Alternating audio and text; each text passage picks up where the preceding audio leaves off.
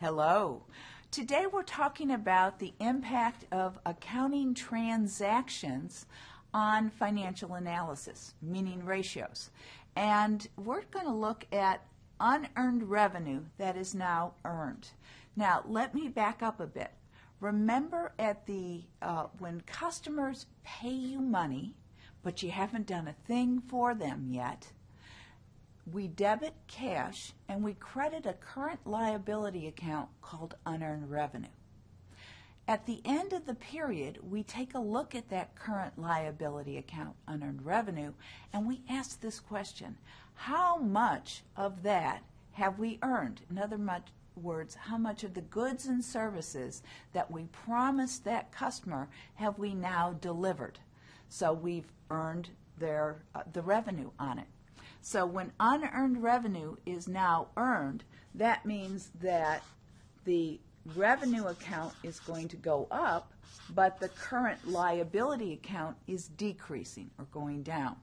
So when revenue increases because we've earned it, that means net income will go up and our earnings or our net income per share will also increase. Well, current liabilities went down. So if current liabilities decrease and the current ratio is current assets over current liabilities, and liabilities, the denominator, is getting smaller, that means the current ratio will get larger. Working capital, since current liabilities are going down, working capital is current assets minus a smaller current liability means the working capital will increase. Debt to equity has to do with total liabilities over total shareholders' equity. So I have nothing, oh, there is a liability. So the liabilities are going down. My revenue went up, and if revenue goes up, that means net income goes up, which means shareholders' equity goes up. So what I have is uh, the numerator, liabilities are getting smaller. Stockholders' equity, the denominator, is getting larger, which means that the debt to equity ratio is decreasing. All right, now here's another one paid accrued wages. You'll remember at the end of every uh, accounting period, we make adjusting entries.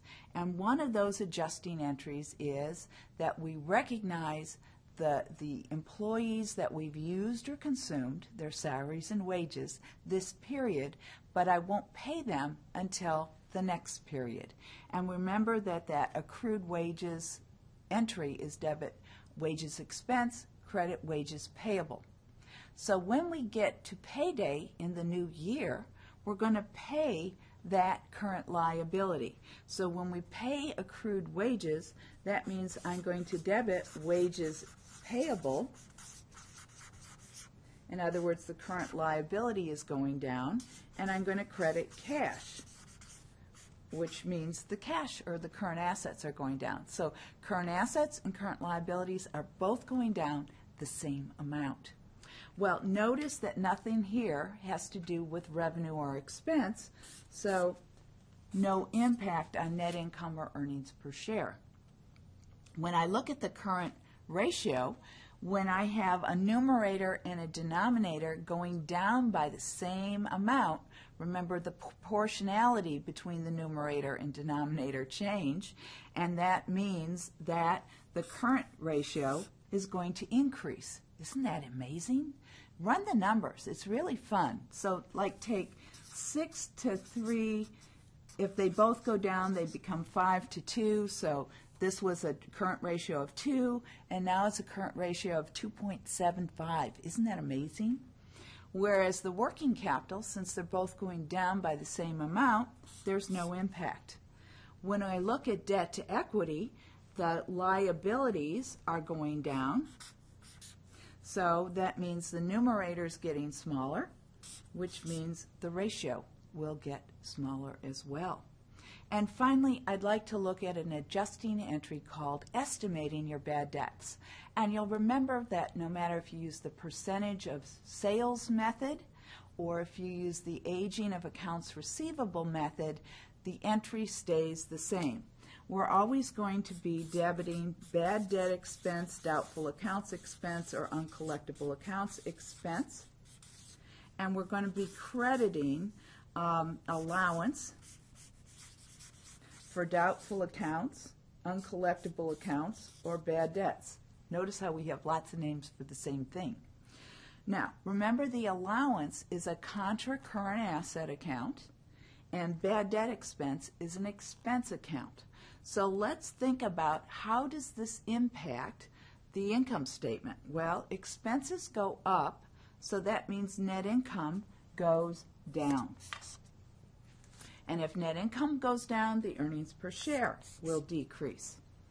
Now, if I'm talking about the current ratio, this allowance for doubtful accounts shrinks my current assets. So here, my current assets are getting smaller, aren't they?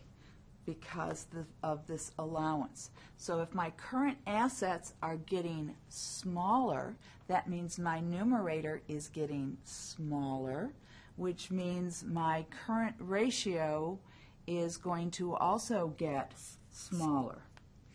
Working capital.